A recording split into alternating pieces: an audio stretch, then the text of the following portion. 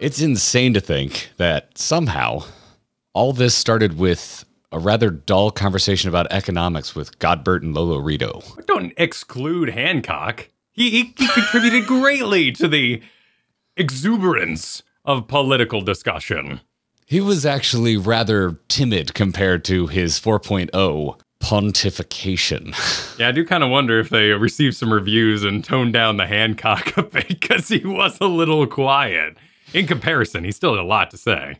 Yeah, I, honestly, I had no issues with Hancock this time around in 4.1 and onward because he uh, barely said anything, which is my favorite version of Hancock, the one where he doesn't talk much. But oh my god, dude, sitting here at the end of Stormblood, thinking about 4.1 through 4.3, I barely remember my thoughts about 4.1. It's like this, it wasn't even that far back that we played it, but it's this distant memory of me feeling a little bored, if I'm being honest. Like in the moment, there there was a lot of hype for Stormblood patch content, and 4.1 opens pretty slow. And it's got some like really serious, for me, really serious shades of A Realm Reborn. Probably just because I'm like listening to Nanamo talk to another Lalafell who I don't trust. It's a false peace, right? We needed this slowness to enjoy Zenos' death. Zenos' death, right? Without that lull with Arenvald and going around the Saltery, we wouldn't have had that feeling of peace upon us, that this was a world that we had defended, that things are going to be okay for a little bit. And with the passage of time, you know, this is three months between each patch. So there would have been a call back to the game after your big thrilling conclusion, perhaps a chance for you to resub and start experiencing that story again, ease into it a little bit. Uh, there, there were asides throughout all of this that I think worked really well. They were slower, but they're purposeful to just maybe give your brain a break from the drama and trauma that you might be experiencing with this story as it goes, such as the Yabby Jaw. I guess they came up with a cute little mini game, but locating the weak point on the Yabby was insane and the hardest thing I've done in this game. It was another moment where I was like, why are people so stoked for us to get to Stormblood patches? Like, I, I was fine with it. it. It's just, it was a really funny dichotomy with the hype going in of, of me just being like, I'm playing the right stuff, right? this is, this, this, is this what you love? I, I'm, this, I'm concerned. This is what you, there's not, there's not even any thirstiness here. It, in in retrospect, it, it all really worked, and I love where 4.1 goes. Like by the end of it, I really enjoyed the character pieces along the way. And uh, thanks to you, I really enjoyed uh, some of the other beats that, had I not been experiencing this with you and you keeping tabs on things that you find interesting, it may have washed over me. Not to get too ahead of ourselves with sitting there and talking about job prospects for refugees with Lolorito, we got to talk about the Drowned City. This was such a great aside. Arenvald is such a heartfelt character. I love when Final Fantasy XIV goes back to its adventurer roots, to a simpler time, when we weren't a warrior of light or the chosen one and all those sorts of things. We just did adventures because they were fun or for riches. And Arenvald, our B-plot, you know, the, the character that would be us if we didn't exist it's just fun to hang out with, and he suggested a rather fantastic Indiana Jones adventure. He did, yeah. We, we, we get there's a little bit of a it, you know if you're one of those folks that don't like the the MMOE like talk to this person type quests, this you know may have rubbed you the wrong way, but we have a few of those that kind of talk up this drowned city where horrible fates befell people that got on the bad side of the Mad King and I think we were both really excited to go to it. And yeah, we'll get we'll get into this in the wall of dungeons, but the dungeon itself I think looks amazing. I really like the whole look of the place. The monsters didn't quite do it for me. I, I thought the lead up was more exciting than actually seeing the drowned city. The drowned city in storyline had a chance to be really messed up, and the monsters were just kind of, eh. Maybe they were saving all the messed up for 4.3 and down the road. Maybe this would have been different though. They could have really like really pushed for like, you know, haunted house, uh, resurrected dead vibe, and it was a little it was a little straightforward in the monsters. But uh, I digress. I, I like this a little bit. It's a fun little aside. It's an interesting way to, you know, add a little bit of action, add a little bit of adventuring to this plot of 4.1 of, of the plight of the refugees. Final Fantasy 14 just gets its hands in the dirt and stares the outcome of a successful war right in the face and it's like, all right, what do you have to do now? Well, you've got all these people. You got to worry about them. Well, you've got all these interested political parties. You also have to worry about them. And you, you need to scratch certain people's backs so that they actually want to help the refugees. And it's super nuanced and an oddly realistic, while still, I would say, optimistic depiction of what the aftermath of a war like this could be like. It's a balancing act, right? Because the world could very easily go full fantasy crystal tech and just Fordola's in a super magic prison where she doesn't age or something and she's in suspension and we can forget about her for three expansions. And over here, the Garleans are building super lasers that they harvested from the moon or everything is very grounded and has this process to it. In fact, outside of the Warrior Lights echo explorations and growth, we haven't had extreme power escalation. It's still just primals and Ascians, and we explore their existing powers and maybe what they choose to unleash on us. But at this current point, when someone goes to jail, they go to normal people jail. They go down in a dungeon and they sit there, and you don't give them weapons and they can't get out. And that allows this process of talking through war and the punishments and the people being mad at Fordola enough to want to go in there and kill her and Raubahn speech to calm them down, a realistic proposition. Meanwhile, while there's, you know, floating fairies outside and someone shooting rocks with laser beams around you to heal you, it it all kind of works. And that really comes back to this balance. Like there are extremely messed up moments in this patch content, and then there's extremely wacky moments. But that's the balance they strike. Yeah, balance is a really good way to put it. And I think we're going to keep coming back to that as we talk through this. But I stand by what I said in the opening. Like it is slow, but slow doesn't always mean bad. Like I, I want I want to be clear about that. When I say something slow, I don't mean it's bad. It's it just like in this case, it was interesting because this is the foot you start off on with the Stormblood patch content, and the patch content was really hyped for us. I really enjoyed 4.1, and I really liked everything like the, the, these nuanced challenges of what we do. Like, how do you build Ala Mhigo back after liberation?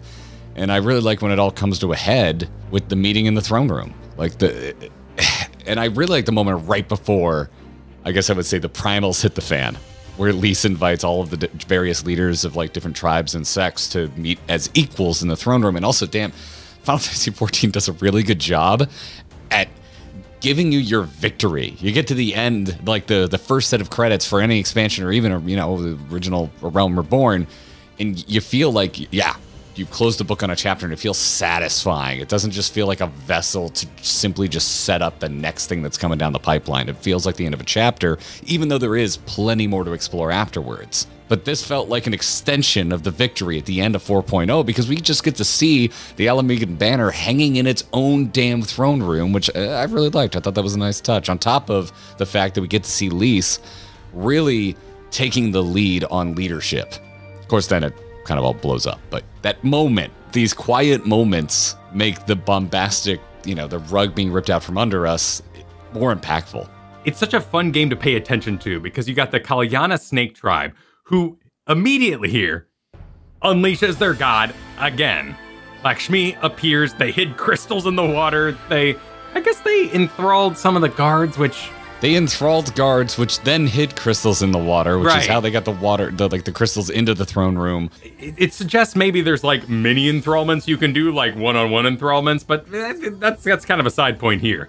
I just love that we deal with this now. It was an opportunity to bring that story back, and, and they did with ease and style very early on. Plus, it was a great opportunity to bring back in Fordola, using her echo powers, and having Arenvald there, and having this kind of echo buddy moment. This was the moment I was teasing. Like, it's cool that I get to experience this with you, but also like comments and just a community, because I wasn't all that into the Kalyan. It felt like a massive fart off in our lead up to fighting Zenos, and I was just like, oh, oh, okay, okay, and whatever. If I was gonna sit here and be a little grumpier about it, I'm like, you could still shorten it. We didn't need to be that detailed. Doesn't matter.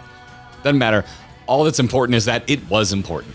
and that there was a payoff here. And what a payoff it was, because this whole moment, this throwdown in the throne room, this from a gameplay perspective, if I'm, you know, I'm just going to say it, a duty that is infinitely better than the trial that precedes it with the same damn primal to fight. It's a vessel for a really strong character beat with what happens with Fordola coming in midway through the fight, picking up a sword to defend the people of Ala Mhigo as opposed to oppress them. I'm not gonna lie to you, I didn't see it coming. I was very surprised by that, and I really liked it. No, I, I had no idea where Lyse was flipping off to, and I didn't expect them to give her that redemption arc and make us really feel the plight of Fordola and her discount echo powers.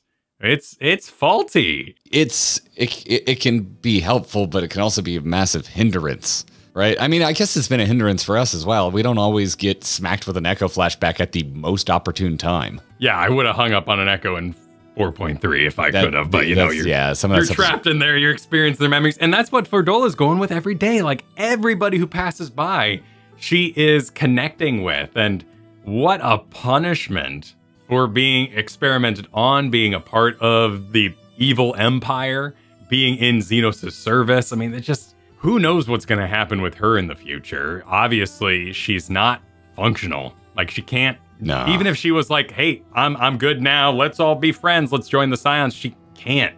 She's burdened with Echo. And it's a mix too. She's also just burdened with her own reckoning of coming to terms with her worldview crashing down around her and, and and and coming to terms with the fact that like she seems to be very aware of her wrongdoings at this point you know, which doesn't happen with every single villain in this game.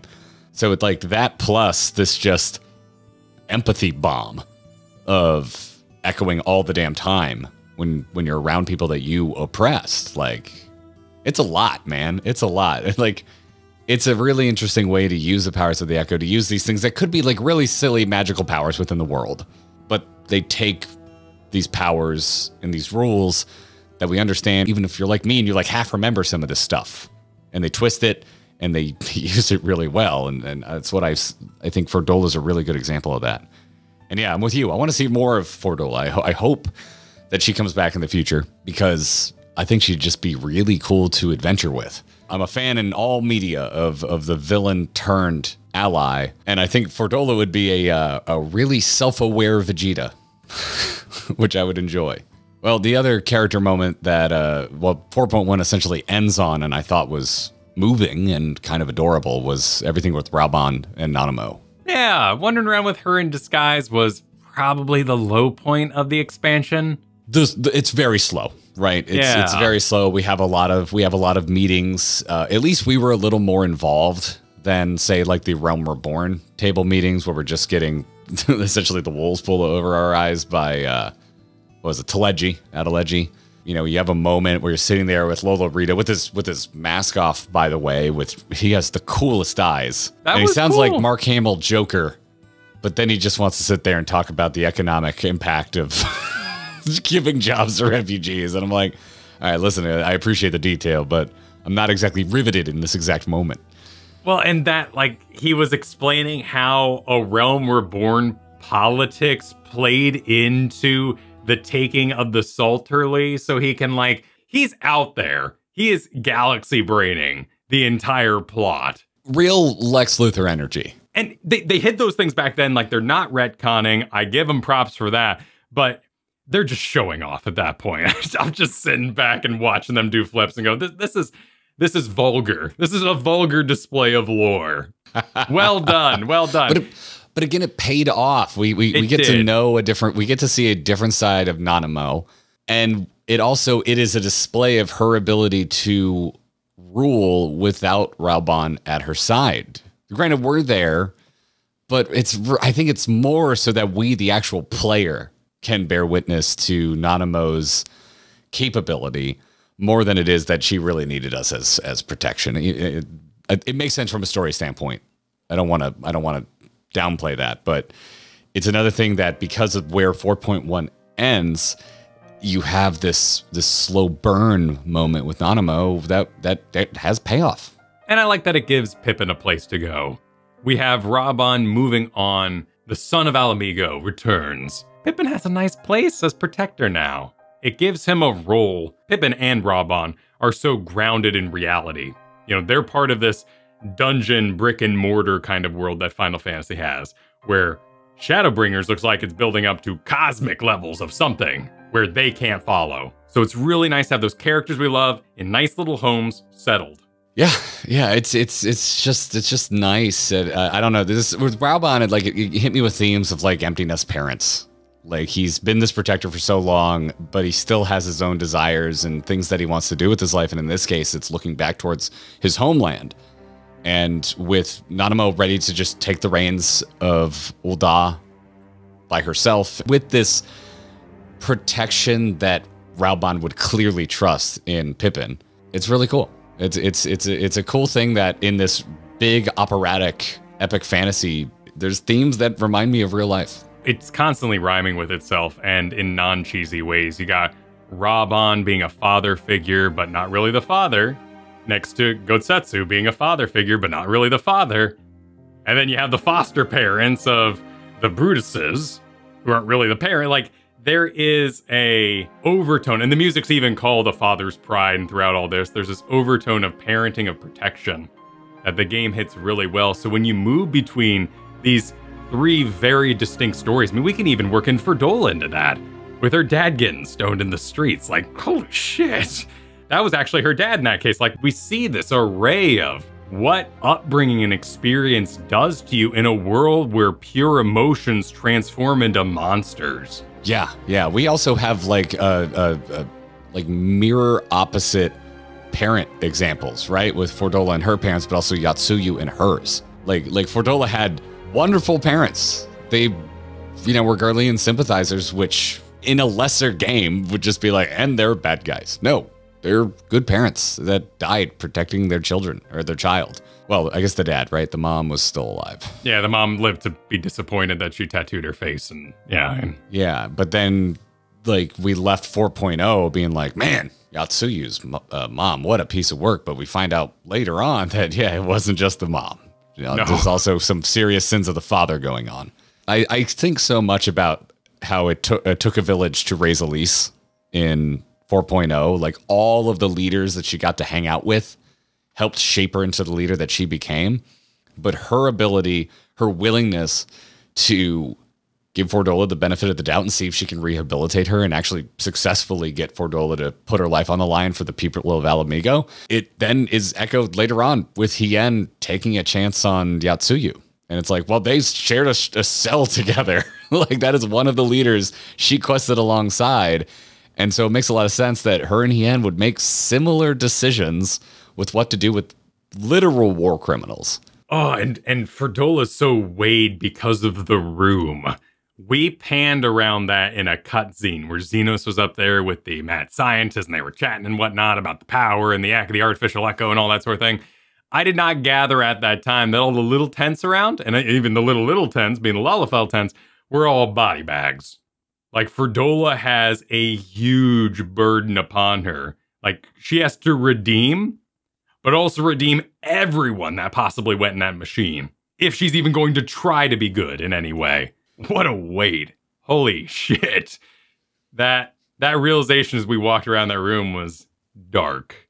This dichotomy in 4.1 of extremely grim realities with really optimistic and hopeful potential futures is it's really to me that that's 4.1 through 4.3 happens every single time and 4.1 and 4.2 both end with teasers. And with that, let's talk about the characters that survived 4.0 that I was very excited to see again. So, my favorite part of the opening of 4.2 was Tataru being livid at how much Alphinaud spent on Gosetsu's sword. I mean, it's not only politics, it's the economic concerns, the scions that the writers are aware of. I bet you they have an actual checkbook. Like they are tracking to the gill how much money the scions have. One of those big ones that's in a binder where you have like six checks to a page. It's like a sheet Absolutely. of checks. You got it. Yeah. Every time Hoary Boulder's in the back drinking, watching those funds, they're draining that account. And Tataru's got to be the one to take care of it. There's no day business. It's Tataru. Tataru is back there just like looking at the bartender like, yo, cut him off. He's done. But even like Sauron comes back for uh, just you know for fun. We like Sauron. It's nice to see it. But no, he's worked back in because he's building like a fairy enterprise that Tataru's gonna invest in. And hey, more opportunity to rip on Alphinaud. It's great. Yeah. Yeah. Also, you know, sadly, more opportunity to have pirates tell us we need to pay a tithe. But you know, Those pirates, man, they're so cheeseball. They read in a book what it's like to be a pirate. They have them no and idea. Hancock. th those two, the, the the pirates of the Ruby Sea and Hancock. Could you could just they could be the star of a Final Fantasy spin-off called a game Garrett will never play. But all this services to get us moving towards Gosetsu and Yotsuyu, who are moving across the land we previously know. It's, it's kind of an opportunity to revisit our locations at this point after about six months since players would have finished up the original game. Yeah, yeah, they're out there having, you know, we, we were teased of their adventures, them out in Kugani.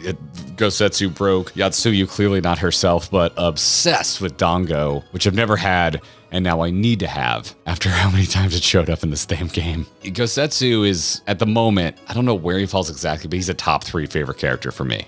I think my favorite character is Estinian still, but Gosetsu's right there. I love this character so much. I did think that if how we thought he went out in 4.0 was how Gosetsu went out, that it would essentially be perfect. You know, a sacrificial death to save his friends, to save Hien, to save his old master. But oh, I'm so glad he's not dead because what they did with him in the patch content of Stormblood, it's one of my favorite arcs of Final Fantasy XIV so far. They made me like something I cannot stand.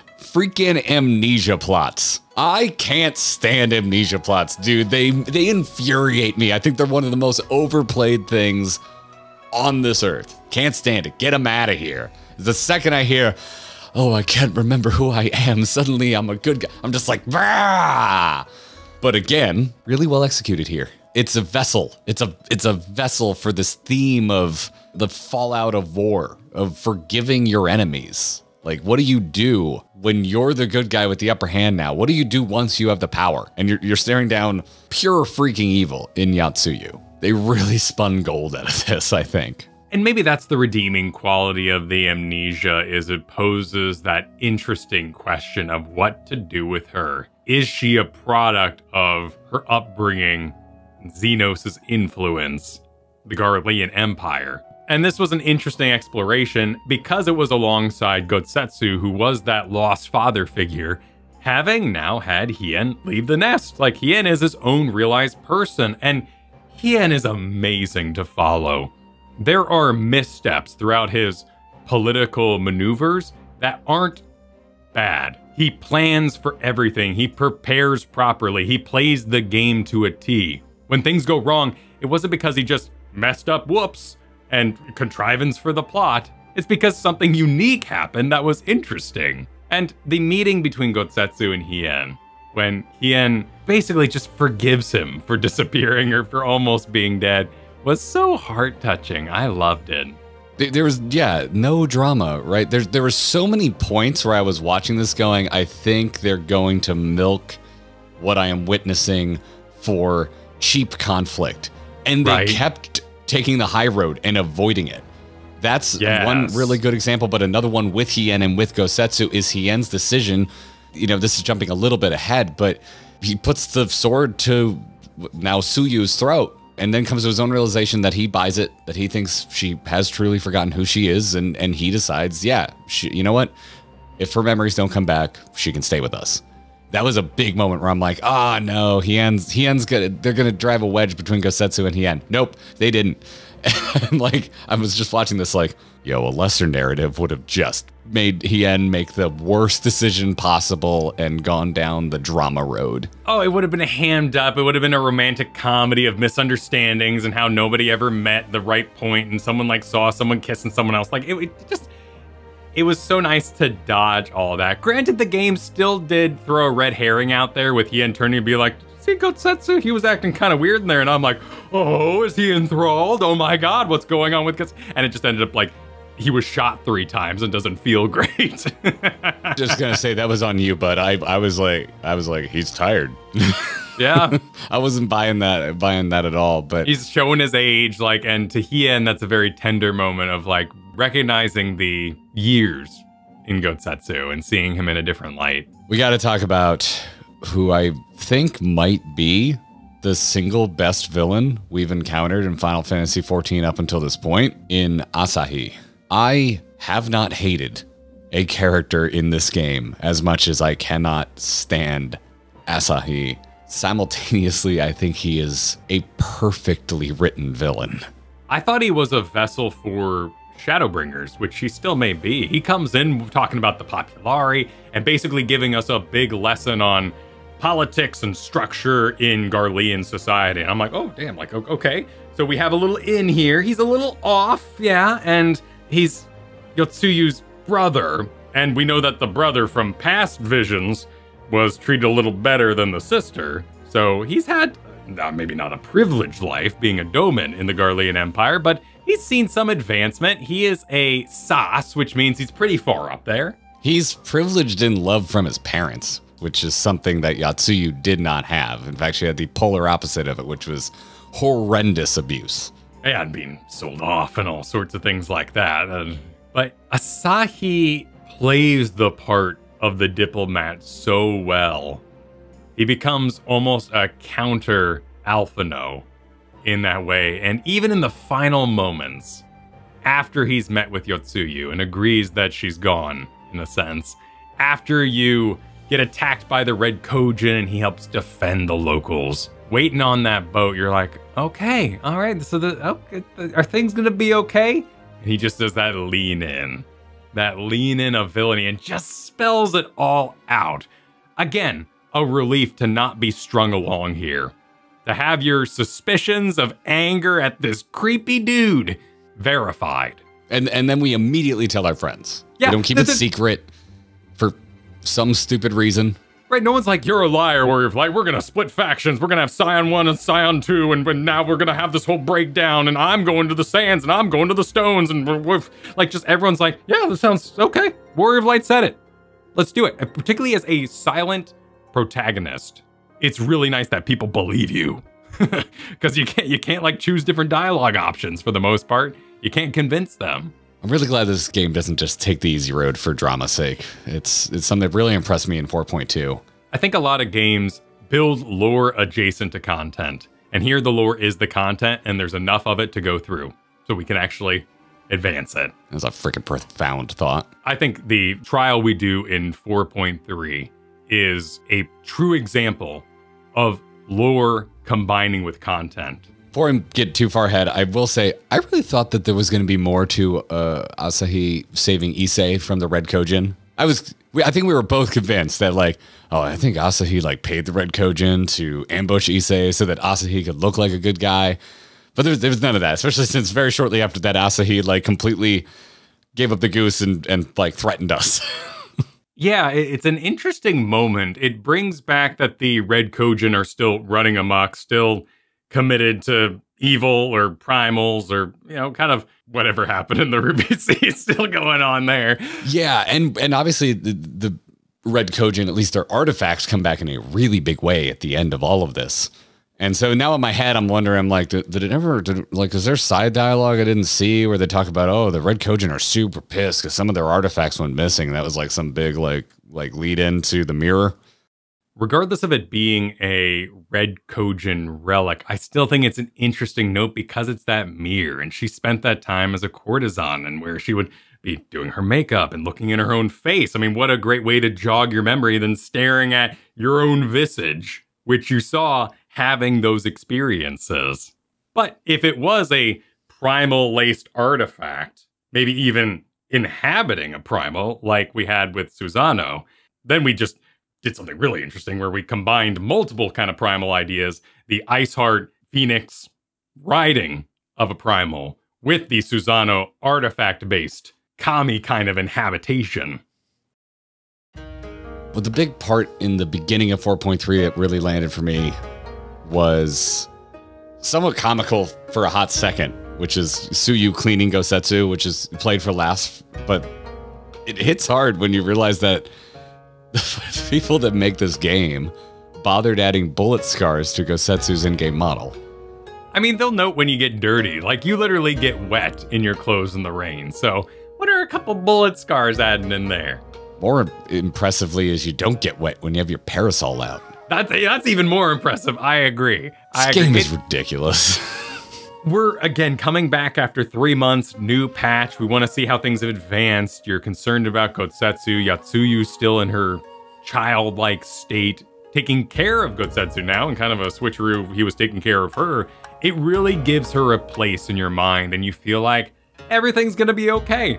The game even goes as far as to have her run off and end up in a village Namai looking for persimmons, and everything's gonna be okay. Why we brought her to the meeting? I understand. Because at that point, Hien, Hien's a good guy. He saw Yotsuyu in the face of the people she had oppressed, continued to be childlike, and he said, you know what? Nothing can possibly go wrong.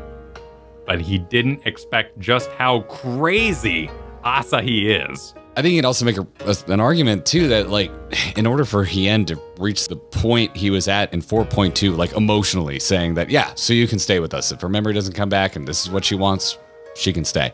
He had to put some trust in Tsuyu to even get to that point internally. So this didn't bother me.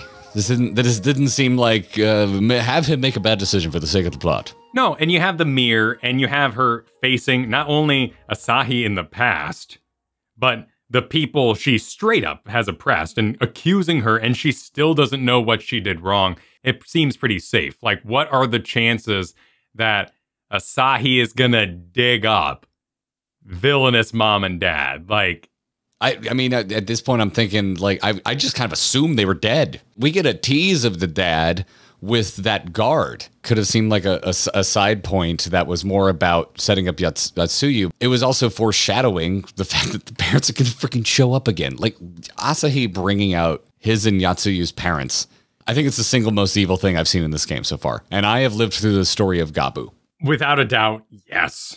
Yes. Like, talking to the guard who sold her, pretty messed up. Thank you for being voice acted, game. I didn't want to read that. because that, that's more of a streamer problem. But That is Yeah. what. Listen, man, it, it might be, but guess what? We're both streaming this, and dude, I am I am with you. That was dark. I was happy that could speed by at the speed that the game was programmed to do. I don't want to have to think about what voice do I do for the man that helped sell someone into prostitution. I no, I don't. Right. I don't want to do that. And your brain doesn't go any further because it's dark to think, well, where did he get her? Well, foster dad sold her off, of course. And for Asahi to do the mirror thing and to be prepared, like we know that those boxes are all sitting around right now ready to go primal. And he's like leaning on him practically, being like, hey, what's up? By the way, special surprise.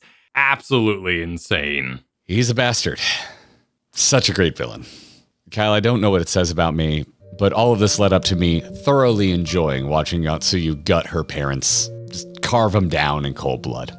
There is an exact formula here. She escapes, she's gonna end it all, but she becomes interrupted by her parents' complaints, accusation, dad's lean in line, and her anger is fully justified. Like, this isn't just mustache twirling, this is revenge for her childhood. And again, we have a brief moment we're on that precipice where things could still go back. Parents are down. She could still make the choice to pursue good, maybe even go back home to Gosetsu. But Asahi walks around the corner. It's such a perfect assault on her being to lead us to that final point. the the train had left the station after this moment. Like I, I felt like the game moved at enough of a clip that I didn't really have a moment to stop and ask myself, "Wait, where is Yatsuyu now?" Like this scene ends and we're off. It's like well, we gotta get we gotta get to the prisoner transfer. Like let's Oh, go. we gotta get the Let- boats and we gotta pre- prepare the boats because the Confederates don't take care of their damn boats. get your boats ready. Yeah, yeah. That part, I hate those pirates. Hien like floating in the water, enjoying a swim. Like these are all it's all part of that lull. They gotta they gotta work you up. You need those ups and downs. You need a palate cleanse. Because otherwise it's just comical how bad things I get. forgot that the pirates were after this. Never mind. The train started to leave the station and the emergency brake was firmly applied. It's all about pacing. They gotta tease you a little bit. They gotta work you up for it. We've experienced so much tragedy in Final Fantasy XIV. It is a game It is the game part of it. F it. Doesn't matter. Irrelevant. It is a story. It is a narrative that revels in misery at times and tragedy. And the climax here, the end of 4.3, the final boot dropping on exactly what Asahi's plan was, Seeing Yotsuyu march out at the top of those stairs in her full regular getup, she's got her, she's she's smoking again. It's good writing because I was just sitting there like I don't want this to be true. I was I was I I was with Hien. I looked at Tsuyu and I was like maybe there's a chance. No. But you still gotta give Hien credit. Like he was prepared. He made us do the big boat thing because he wanted the big boat so he could get everyone away quickly because his little skiffs would take forever if things went bad. And it's not that Asahi was just being absolutely crazy. He went crazy, yes, but he had a plan. He wanted to do the whole, oh no, they're summoning primals. Look, everybody, look, Doma's still crazy. We can't possibly be political partners with them. Everyone to the ships. Like, it was an excellent display of manipulation and politics, and a good on him for it. Yeah, yeah, and I, and I like that it, eh, the failure of it all really just comes down to him. Like, if he didn't let his emotions get the best of him, basically, would he'd still be standing? all he had to do was not walk over to his sister. That's true. Although, I mean, she did kill him with magic swords, so who knows? I don't know what the range on those magic swords are. I'd need to read a tooltip. The fight was beautiful. The transformation, just this primal in general, I'm unfamiliar with it. It doesn't look like Tsukiyomi shows up in other Final Fantasies. A character of Tsukiyomi or the figure of Tsukiyomi is a, a religious figure of Japanese and I believe Shinto origin. So it is. This is a concept that exists outside of Final Fantasy XIV, which is seemingly more and more common the more I learn about the historical background of a lot of things that Final Fantasy draws on. I uh, I love the look of this primal, but also What's really interesting to me about this is that it is more of a reflection of Yatsuyu than any other primal has been a reflection of the person that became the primal. I want to know more about this. Like how you were like super into everything going on with the Qalyana and the Lady of Bliss, and I was like, eh, not my favorite.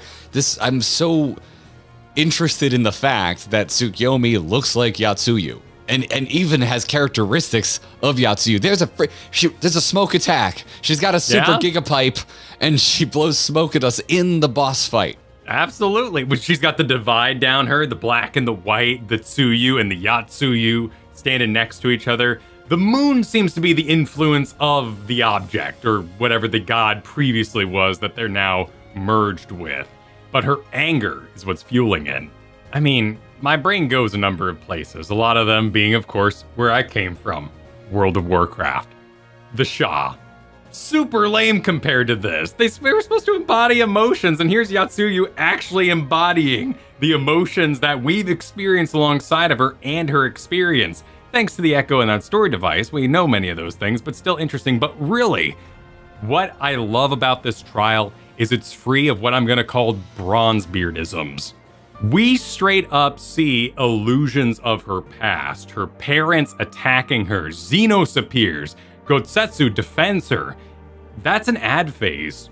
That is story in mechanics. At no point does the whole battle pause while Bronzebeard runs over and I have to work the machine, everybody.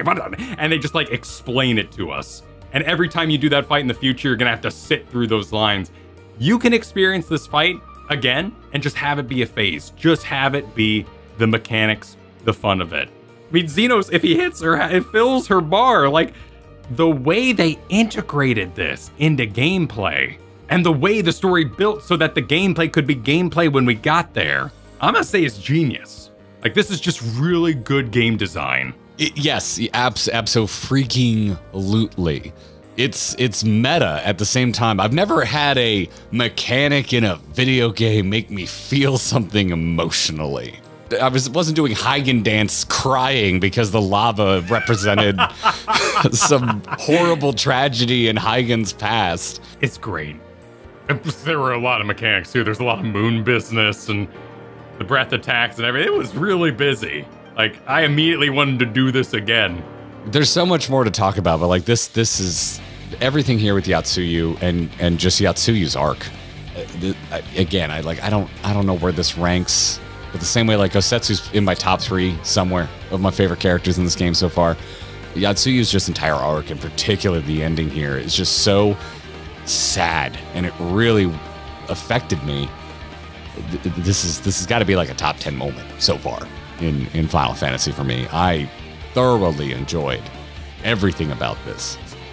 And Asahi was such a big part of it. Like I keep saying, like I can't stand him. I hate him. He's a great character. He is a wonderful villain. He's like everything Zenos isn't.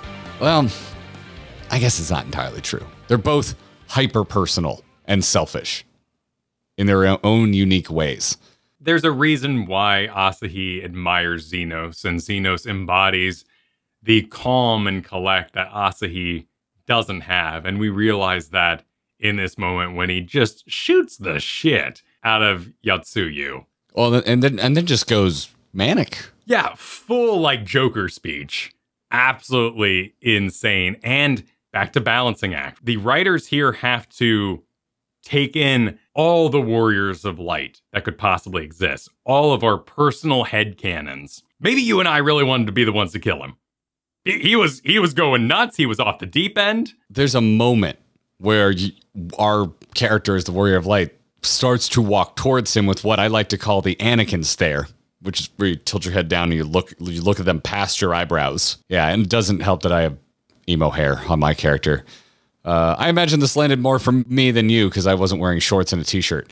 But I like it. I, I was, it's an adventurer's wear. How did it look in this exact? Be honest. Be honest. I'm not trying like drag it through the coals or anything, but like, was there a moment where cut that exact shot where you're like, maybe I shouldn't have worn the LL Bean collection today? No, no, I wasn't dressed up as a barista that day or wearing like the Miss Beard helm or something like that. I dress casual for adventure. It's tough out there. You gotta wear clothes that breathe. But you're right. Like that's part of that balancing act is they give you the moment where our head canon, we're to kill him. Someone else's head canon, you may have wanted to stop him or arrest him or something along those lines. Like he's declaring diplomatic immunity after summoning a monster that's going to cause Doma and Garlemald to fall apart in this whole like political ramification of him being crazy. But Yatsuyu's the one to do it, and it's the perfect end because she deserves that kill. Yeah, it it, it absolutely works. I wasn't bummed at all. Uh, if anything, it's better. It's better than if if I were to uh, to ace Asahi. You know, if this is a Bioware game, I would happily happily take the, take advantage Press of it. Press that button. Oh, 100%. I'd kill Asahi every time. I would do another playthrough and be like, this time I'm going to make all the good guy choices. Nope. I would just do the same thing again. And then Hien walks in the room and he's like, well, everything's good here. This looks great. Meanwhile, Gosetsu is about to break down in, Yeah. into an emotional puddle. Uh, yeah, that was the one time where I was like, read the room, Hien. Uh, but you know, I- we're the, we're a monster slayer, and Hien saw a monster, you know, and this motivates Gosetsu back to health. Basically, he's the one being taken care of, and he realizes that he's completed everything he needs here. He's done, and he can go on his pilgrimage, his quest. Which I love that it puts him out in the world. Like it's one thing for him to be retired in Hien's home. That is very plot specific. If we ever saw Gosetsu again, with him out in the world, who knows? You know, he might do Astidian things. He might be running adjacent to our plot sometime. I'm just excited for him to exist. I could see him moving to a mega city and opening a tea house. Lyro there, yeah, I feel it. Mm, yeah, Yeah. You, you got that reference. The other bit that comes up, which we already knew as players because we're watching the video game and there's scenes that Warrior of Light is not present for. Zenos, Zenos, Zenos is alive. And we have that echo connection with Asahi where we make that confirmation. And I love it. I think there is no better way to knock Zenos down a peg than take his voice. Like his voice was his beauty. He's still beautiful, but his voice was so rich to have it scarred. Dude, his voice, they took his thickness. Let- Let's get into that a little bit because when he's standing with Dad Emperor, he's equally tall. Elidibus was shorter, but took off his mask. And we, I, I thought, we thought maybe that he was wearing Zenos' face. But you're absolutely right. The butt and the hair, the size wasn't present. It's fine. It's fine. It's just uh, it's a little it's a it's a memey thing that just keeps jumping into my head every time we see zombie Zenos. I'm just like, where's your where's your ass, man? What happened to your butt? You had some serious junk in the trunk. I like his little coat. Like I, li- I like that he's so big that he doesn't even fit in this tiny little officer's coat they gave him. Yeah. Yeah, just put it over the shoulders. It's a good look, actually. I, I rather is. like that that it's costume design. Of, yeah, of, of like mending zombie Zenos and just a stylish jacket over the shoulders. Again, another great example of where they could have milked shit for needless drama and conflict because they, they people don't need to believe us as a warrior of light. I'm so glad that everyone just trusts the warrior of light's echo. They're just like, oh, you saw Zenos? Yeah, okay. Well, we believe you. Moving on. Let's go commit uh well not grave robbery. Let's just do some uh, casual exhumery and see if there's a body in here, which leads to my favorite line Thancred has ever said. Oh dear. We seem to be missing a corpse. I didn't know I wanted to go do this, but I'm so happy we did. It's such an obvious thing to investigate. Is the body still in the grave? No, no big mysteries. No, like we have to go, like we have to get the key to the crypt, but the crypt is locked by the something. Or like we can just go to the grave, open up, see there's no Zenos inside, and then there's a whole nother layer. The katana wielding soldier, which you noted before the actual hunt line came up, was Zenos. Well done. I believe I shouted that motherfucker is Zenos on Yeah. stream. The, the Eastern sword, the katana, looks so out of place. And then, uh, you know, you notice it, and then he cuts down a fellow soldier. And so with the blast, with the blast. did it have a blast? Yeah, yeah, he did a sort of blue blast with it, which is interesting. Might not be worth reading into. Zenos did a Probably lot might have been blast. why he was raiding Magitech, the armor there, because it was a big pile of Magitech. Oh, that's an interesting thought. Yeah, because he shouldn't be able to blast without his golf bag. But if he was getting something off the Magitech to empower his sword so he could blast again, maybe that's the answer for it. He was shoving batteries in the scabbard. Yeah. It's just ether crystals or whatever, ether batteries. I, I can I can headcanon my way around that one Yeah, just that fine. sounds good. That sounds good. I mean, it could go like really off the beaten path, like him being reborn is not a Garlemald or something like that. I, I'm, I'm not ready for that theory yet. Not entirely sure. In right now though, I'm thinking it would be extremely interesting if he caught up with his body, like because to him, this dude was so in love with himself, right? Uh, he's got to be furious that someone else is running around marionetting his corpse. Is that really what he wants to do, even? Does he even care? Because his line is Shall I use this chance to repent for my sins, embrace goodness and mediocrity? Nay, I think not. While the one I yearn to face yet lives, the hunt must go on. It sounds like he still wants to kick our ass. Like his his whole hunt, his BFF is still out there, and he wants to get on another good battle. He's got another chance. How is he? I mean, I guess he used, he tried to kill us with a primal before, so he's not above using other abilities to try and ace us, right? So I guess we'll come up with some other ridiculous Batman villain plot to kill us. if Elidibus is riding Zenos Prime, who's injured, so that suggests that that's the dead body reanimated, which Thancred is like, reanimated me alive? Yeah, sure, a dead body. Like he just completely hand waves and was like, yeah, that, that can work.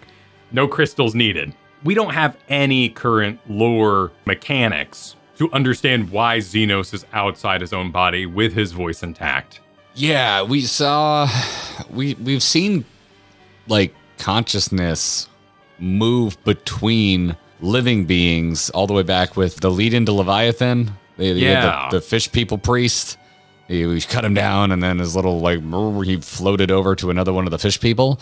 and became himself inside that fish man. He didn't like take on that body. He was now full regalia hatted. Yeah, but we didn't see whoever was that fish man before then get have pushed out into another body. So how Right. did the big mystery for me is how did Zenos's consciousness end up in the body of, of someone else? Was is, is was that a dead soldier? And, and the game hasn't even come out and said that that's Zenos, but that's Zenos. I'm calling it. I'm, this one that is is so clearly Zenos. But did he possess someone living? Was there a dead soldier nearby and he just leapfrogged? I don't I don't know. I'm really I'm really curious about this one. Right. And Shinryu kind of broke off him. So I don't think he still has the powers of Shinryu and that he's like primal floating about. So obvious I mean, obviously, they'll explain it. This was the big tease. But well, There was There- there another are whole two. big tease. Yeah, there's a whole the other other- big tease. The whole other big tease is is Alphinaud out on his adventure, gets attacked, shot down. We get to actually play as Alphinaud, and we meet this character that only refers to himself as the Shadow Hunter. Clearly a Garlean, has the third eye, hanging out with a bunch of other Garleans, using a gunblade. Same gunblade that Gaius had, but I believe that's just a standard issue gunblade. I don't think No, there's that, any. that that is Gaius because the X attack. He repeatedly does the same blast that he does throughout reworked Praetorium. Big waves on the ground, line up the X's, poof, then being like, "I've had run-ins with scions." Ugh, how very glib, you know. Like he's he doesn't do any of the words, but he's all burned. He's got all the wraps around him, like Dude, it- like who would hate Ascians more right. Gaius? Because such devastation was not his intention. No, no, they tricked him. And now if he's hunting them across the multiverse star business, like that sounds badass. Either way, the Shadow Hunter hunts Ascians, which has its own pile of questions with it. Is he using the white aura sight? Did he find another way to kill them? How did he kill all these Ascians and where did he find them? I think we've only seen red mask Ascians. We've got Igeyorhm, La Habrea, which are both taken out in Heavensward's End. We've had Nabra, Nabra Sideburns, who was part of the Chrysalis and Moonbrea's death. And then there's a cutscene at the end of A Realm Reborn with Pashtarot, which we don't know anything about. He's got like cloud hair. Those are the named Ascians that I'm aware of going back to my room in the book and looking for black Ascian masks. And you know what I'm not going to do is Google Ascians because I do not want to get No, spoiled. no. but in that room, there's like 12 of them I could count. Are those all on our star, the source? Does each star have multiple Ascians? Did Shadow Hunter kill only local Ascians, or is he like, is he out there traveling? Well, we know Elidibus has been traveling because we did the Warring Triad. Right, and he brought over the kid from another star. He- uh, Galaxy Brain playing 4D chess. So I, I don't know. I don't know the significance of the three types of masks that Gaius, well, Shadow Hunter here is sporting. You've all, you're you're really convinced. Dude, I, I I want it to be true. That's the thing. I just really, really want this to be true. We made it to the end of Stormblood. It's the end of the point three patch. I'm assuming that just like Heavensward, point four and point five are going to essentially be the prologue into Shadowbringers. There are a lot of preconceived notions. There's a cornucopia of opinions about Stormblood going in. How do, how do you feel about it now that we're we're at the end? It's a tough question to answer right now, but I feel like we have closed the chapter on Eorzea, and it can exist without our defense. So as we enter Shadowbringers, maybe pal up with the Shadow Hunter, maybe that's just like an Alphinaud subplot and we play as Alphinaud from time to time. We are now excused from the planet. We can now go back to hunting Ascians without worrying about the political spheres or if the world's doing okay. And while Stormblood may have been slower to get all that set up, there's not really any holes that I can think of. No, me neither. Yeah, to me, it comes down to like I, I get the concerns around the beginning. It is slow, but it's a really good story. And it has some of my favorite character beats of the entire game that I've experienced up until this point. And I'm glad we're not done with Xenos yet. Well, we're going to move on to point four and point five, and we still have Omega to finish up. We still have Evil East to finish up. We still have a series of dungeons that I don't remember the name of to finish up. Oh, the Four Lords. Yeah, we still have to do the four lords. Yeah, there's a lot to do. So thanks for watching, everybody. And until next time, GG.